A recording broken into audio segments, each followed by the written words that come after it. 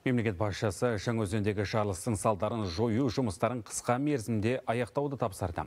Қазір апат болған жерде Алматы мен Ақтөбе қалаларының сот сараптамалық орталықтарынан келген мамандар жұмыс істеуде. Сондай-ақ жарылыстың салдарын жою, тазалау жұмыстары жалғасып жатыр. Оған азаматтық қорғаныс күштерінің мамандары мен өндірістік мекемелердің арнайы техникалары жұмылдырылған. Дәрігерлер жансақтау бөлімдегі екі науқастың жағдайы әлі де ауыр екен айтты. Дегенмен біреу есін жиған жеткізді. Ал зардап шеккен отбасыларды баспанамен қамту жұмыстары басталған.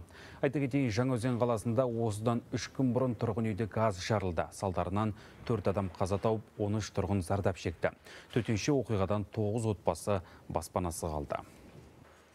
апат болған жерде қазіргі таңда ә, жауапты қызметкерлермен бірге ә, тиісті тергеу және осы сараптама орталықтарының арнайы мамандарымен бірге жұмыстар ә, өз қарқынында ұйымдастырылуда онымен қоса бүгінгі таңда осы зардап шеккен отбасыларды отбасыларын тұрғын үймен қамту бойынша тиісті ә, жұмыстар жасалып жатыр қазіргі таңда.